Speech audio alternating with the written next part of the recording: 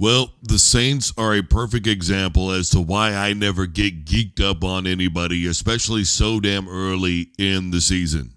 Started out with a couple of really big wins, and everybody's like, oh boy, here we come. They're back. Derek Carr's back. He's playing his best, yada, yada, yada. Now here we are into November. Their head coach is getting fired. You got wide receivers talking horrifically about Derek Carr, and now their head coach is fired. And by the way, they're two and seven. They've lost seven in a row. I never get geeked up on anybody in September for this exact reason right here. I'm not going to get into why I hate preseason polls again. Done that a million and one times. It is what it is. If you want to hear it, go check the archives. But in the meantime, this is why I don't do it. This is why you didn't hear me get on a microphone and go, well, Derek Carr, he's back. No, Derek Carr is who Derek Carr is and that is a mid level at best quarterback in the NFL. He's very hit and miss. He'll have one really phenomenal season and then another really terrible season. He's been injury prone. Now he's leaving his guys out to dry. And look, as far as what's being said about about him on Twitter, and you know, he can say, "Look, everybody loves me, but I've never got along with him." Da da da da da. What's happened is is because Derek Carr is such a likable guy nobody's really wanted to say anything. That's the reality of the situation. It's the same thing with Dak Prescott. It was the same thing with Tim Tebow. But don't forget Demaryius Thomas, RIP. When Tim Tebow rolled out of there and he went to the Jets, Demaryius Thomas was very quick. Hey, man, don't let the door split you on the way out, Brody. Just because somebody is likable does not mean that we can't be honest about him. And I think the frustration of the situation with the Saints is just boiled completely over. It's not that they are without talent. Phenomenal with the running back, decent at wide receiver. The offensive line certainly isn't the worst in the NFL. Uh, you could blame play calling a little bit if you want to, but let's keep it a buck here. Derek Carr was not going to save the day in New Orleans. And it's not exactly like they're in the world's toughest division. Look at all the problems that the Carolina Panthers have had this year. New Orleans couldn't beat them. Tampa Bay's a pretty hit and miss football team right now. I don't know why everybody's so geeked up on Baker Mayfield and what's going on over there. With the talent that he's got around him, they should be a better football team, to be honest. The Atlanta Falcons, they're pretty hit and miss. They're not using, you know, Bijan Robinson, I think, to his fullest. Now, obviously, he's had how many games in a row now where he's got over 100 yards from scrimmage, but that's total yards. I, I think that they could use a little more ground and pound, grinded out football, but, you know, it is what it is. I, I just think that given the location, given the schedule, they should be a much better football team than they are. And if you want to prove yourself as a team, then you have to beat some of the better teams in the NFL. And this loss just signifies who New Orleans really is right now. Now, do I think that a better quarterback could come in potentially save them? I don't know, man. It's rare, but it happens. It's rare, but it happens. Tom Brady saved the New England Patriots. Jayden Daniels, what's going on over there? There are rumors flying that players want to be traded to Washington. Why? Because they want to play with Jayden Daniels. Guarantee you. Of course, conversely, it hasn't done anything for the Chicago Bears and Caleb Williams. Ask the Cleveland Browns about having quarterbacks year after year after year for 20 plus years. Eh, look, I, I think that we have to come to a place where we understand something. Derek Carr is a seasoned guy. He's a veteran, but the Raiders didn't want him anymore. Their quarterback situation is no better. I think they should have told everybody that everything they needed to know. I'm just being honest. It should have told everything to everybody that they needed to know. Anytime anybody reveres potentially Jimmy G or O'Connell, who really didn't do much at Purdue, or eh, some of these other guys, it tells you all you need to know about that quarterback. I mean, if we're going to be spending our days being critical about Dak Prescott, then we need to be just as critical of Derek Carr, which I have been. But Derek Carr doesn't get a lot of negative press because he's so damn likable. And of course, he doesn't get trolled by Stephen A. Smith, well, because Stephen A. just loves trolling the Dallas Cowboys. And speaking of which, look, I, I think we're all just a little tired of, of Jerry Jones. The, the issue is this it's not that what he always says is necessarily wrong.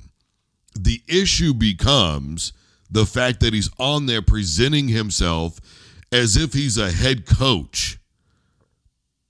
If he could, he would be coaching the Dallas Cowboys. But I don't know who he would have to blame after that.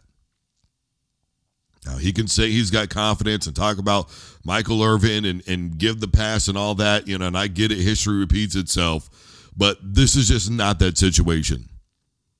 This is a very loaded roster, and people can blame Mike McCarthy all they want to, but I'll be honest, I don't think those guys want to play for Dak anymore.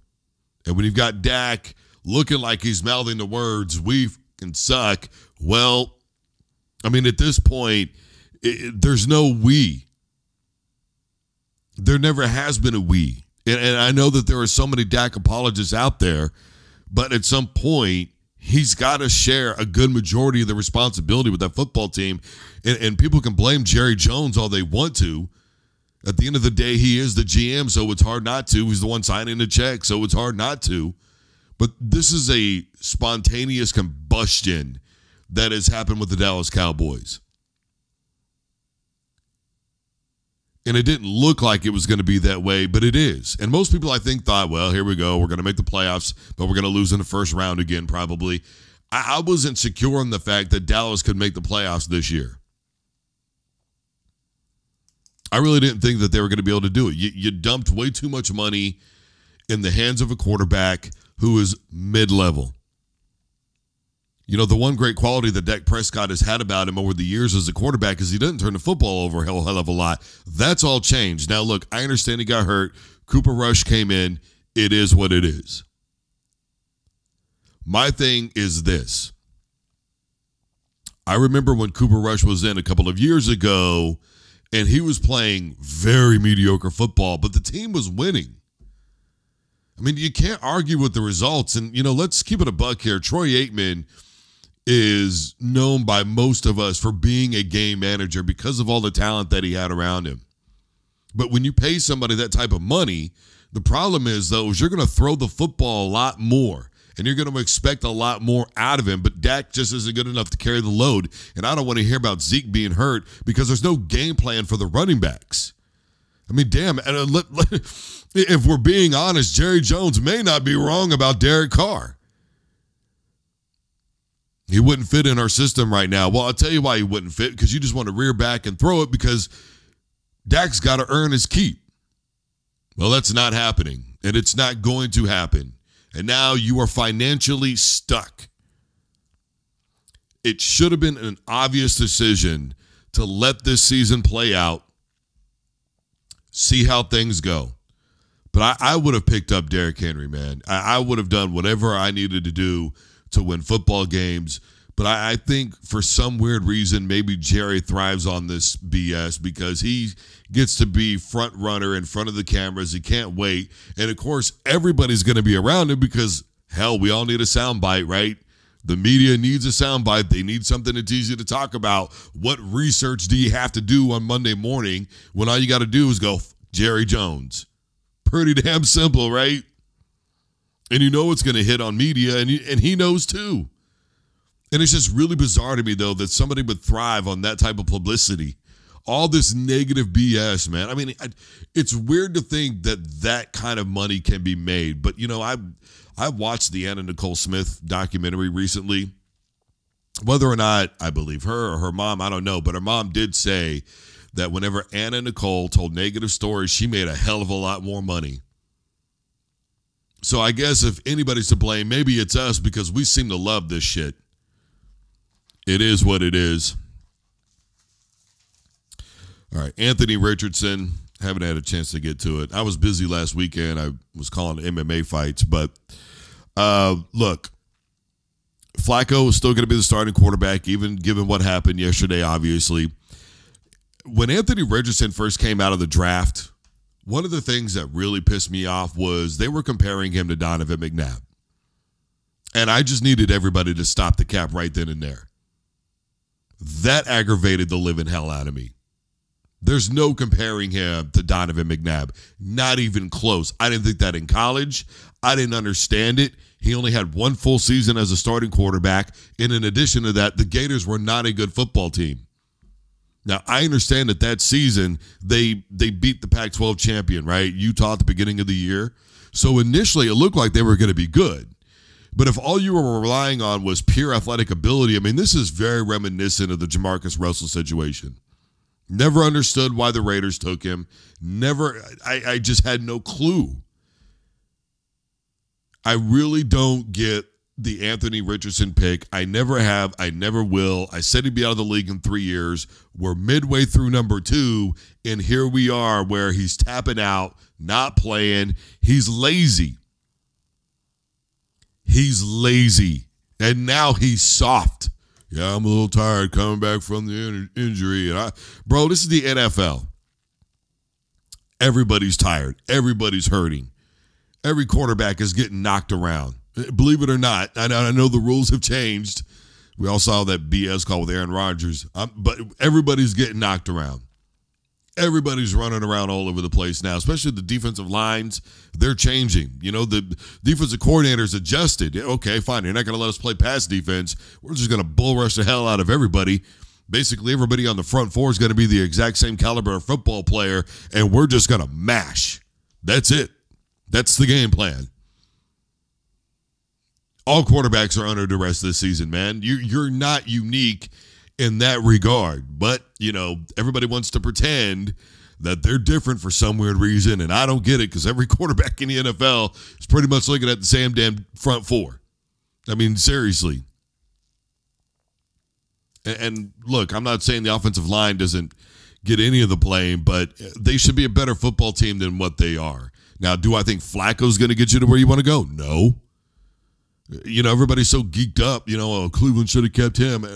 Bro, stop. He had five turnovers, or he had eight picks. You know, eight picks in five games. Like, and then a bunch of turnovers in the playoffs. Can we can we quit?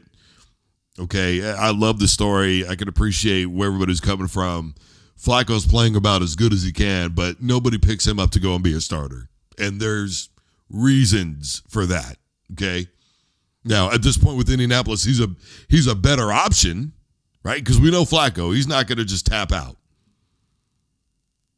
But if that's as good as it gets in Indianapolis, I, think honestly, dropping change, man, a lot of change. I think honestly, um, laundry day. I think honestly, you're just gonna have to let it go. I, I think you're gonna have to rebuild, yeah, start over you drafted quarterback, it didn't work out. Oh, fucking well, man. On to the next thing. Right? But but who is there in college right now other than I mean, you got Shedeur out there obviously, but your your your season's not bad enough as of the moment to get him cuz he's going high. I mean, seriously, probably Travis Hunter one, Shedeur number 2 depending on how things go. Could be vice versa, but man, I I I don't see it. So now you got to figure out what you can do in a trade. And we're not going to throw out Dak's name because who the hell is going to take on that woolly mammoth of a contract? It's just not going to happen. Something I want to tap on here real quick. You know, a couple of years ago, I did an interview with a gambling agency for sports betting. And I, really just didn't like how the interview went. In fact, if I remember correctly, I never posted it. And if I did, I, I think I eventually decided to take it down because I just, I think a part of me feels guilty. You know, Daniel Okrent, who invented what was back then called popcorn baseball, now known as fantasy sports, said, Now I know how the guy who invented the atom bomb feels. It's just ruining everything. Every play, everything that you see where there's a prop bet involved of some kind ESPN, CBS, Fox, all of them, Bleacher Report. They can't wait to make a post about it. I don't care what the prop bet was. I don't give a damn about the over under on a football game. I just want to watch the game. Leave the betting for the betters. But the problem is, though, is it's become so big that I'm, and they're sponsored by these guys, and there's literally no getting away from it. In most states, all you got to be is 18, have a debit card, and a cell phone. Download the app, boom. People want to talk about TV ratings up until you know basically November for for the NFL look, the NFL, first of all, is nobody to blame but themselves. Number one, because of the promotion of betting all the time, we can't watch anything without betting. Same with the NBA. I mean, pro sports is literally just bet, bet, bet, bet, bet, bet, bet, bet. That's literally all it is. All the commercials, everything. The presentation is garbage now. I, I hate it. The crowds, you, you, can barely hear them. It, it sounds like a, a golf channel on a Sunday afternoon now. It makes you want to take a nap. But eh, the, the, the presentation is just too formal, you know, except for the playoffs. Then all of a sudden they really amp up, probably pipe in some crowd noise. But I just, I for one am tired of seeing it. I'm just keeping it a buck. I can't stand it. I'm over it personally, you know, but it is what it is. I realize it's not going anywhere, but man, I I really get tired of it if I'm just being honest with you, man. All right, real quick here, college football top 25 polls. Obviously, as we all know, the first college football playoff is going to be coming out tomorrow, but in the meantime, Oregon all the number one votes. After that, you got Georgia, Ohio State, Miami.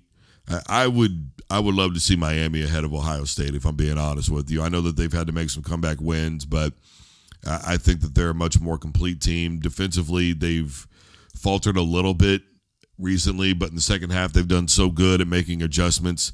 Their quarterback, Cam Ward, is far and away much better than Will Howard is. Um, he's to me, he's the most improved quarterback in all of college football this year. He's in a place that fits him and suits him. I I would take Miami, and then you got Texas, you got Penn State. I, I would have preferred them to drop a little bit more. That look, they're they're so reliant on Drew Allar, and I don't get it. They have one of the best run games in college football, at least they should. And they they just want to put it exclusively in his hands over the last couple of seasons. He cannot do it. He can't push the ball up the field. The accuracy level isn't there. He's not great at throwing somebody open.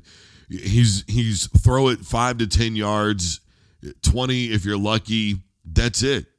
That that's what he does. I I would love to see Indiana ahead, but it is what it is. They're back there at number eight. The disrespect is real. And look, I, I, know that a lot of people say I'm a hypocrite because of the way that I feel about Colorado and Prime and their weak schedule. The difference is Indiana's blowing everybody out. It was a very similar situation last year with Michigan. That schedule, for the most part, at the beginning of the year was not very good. The tough games were on the back end, and they ended up winning those football games that came away with the championship. Whether you want to say it was tainted or not, it is what it is. Let's not forget midway part of the season, Connor Stalions was gone. So they continued to win football games. They were pretty much being dominant for the most part. Indiana's having a very similar season. They're a better football team than Penn State. They're better than Texas right now. I, to me, honestly, I would have, again, I would still have Georgia at number one. I would have Oregon at two. Then I would, honestly, I would have Indiana, and then I would have Miami. So, you know, it, it is what it is. BYU uh, still not sold. Notre Dame still not sold. Alabama at 11 is way, way, way, way, way, way too high. Way too high. You got Boise State in there. Jeanty, pretty much a one trick pony. But the the thing is, is nobody's stopping him. So yeah, you're, you're going to have to stop him. And, you know, we'll figure out, you know, how good the quarterback situation is right there. But Jeanty, what he's got going on right now. And, and by the way, it is comparable – to Barry Sanders, whether people want to believe it or not. I know Barry did it in less games, but Jeanty's being uh, he's not playing in the second half of a lot of games. Okay, he's he's getting a lot of this in two quarters. All right, so with what he's got going on uh, between him and Travis Hunter right now, the Heisman Trophy race. I mean, it's it's pretty much all them. Let's keep it a buck. Texas A&M at 15 don't like. LSU's way too high at 14. You got Iowa State in there. Okay. Army, I don't have a problem with them being where they are. Um, I don't know though that even if they finish the year undefeated, they they would get into the CFP, but it, it they're they're going to be on the road. That's for damn sure. Kansas State they just lost again this weekend. I, I, think they're too high at 22. You got Vanderbilt still in there. Not really sure about that. Louisville. Yeah, I, guess it is what it is. Colorado pretty much staying 21, right?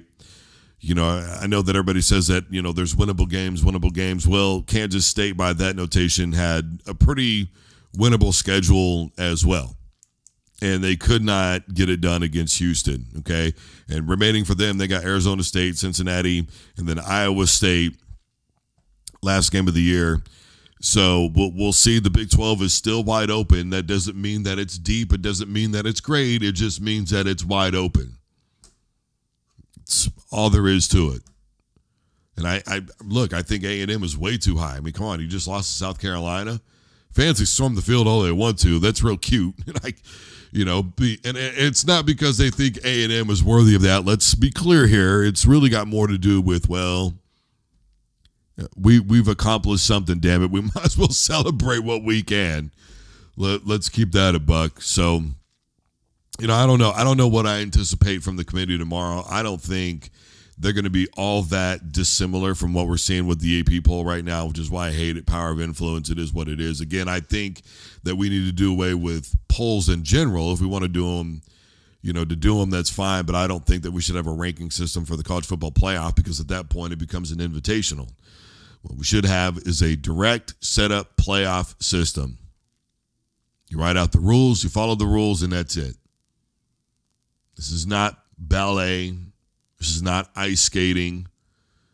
Okay? This is not that. This isn't boxing or you know or MMA or any combat sport where we got people going round after round after round. It's not that anymore. This is a true playoff system if we do it like that. If not, then it's an invitational. We think you're one of the hottest girls in school, so we're going to go ahead and invite you to the dance because we think you're going to draw our ratings. We're going to try to create the best matchup. This ain't MMA, man. We're, we're not trying to get really great matchups and big money fights. And I and I still stand by the philosophy: if you're undefeated, you deserve a shot get blown out. It is what it is. But let's not pretend that other teams haven't been blown out in the in the playoffs or in BCS championship games because it's happened. Got to make football decisions, not boardroom decisions. Shit's getting annoying. It's been annoying. I'm tired of it. All right. I'm Drew Duncan, Facebook, Twitter, and Instagram. It's all at Drew Duncan Radio and wherever you listen to the podcast. Tell your device play Drew Duncan. You guys have a great one. Everybody be safe. This fucking weather's crazy, right? Tornadoes, man. Tornadoes. Have a plan, especially for people out there in Oklahoma. All those brick homes with no shelter space. Insanity. In Tornado Alley.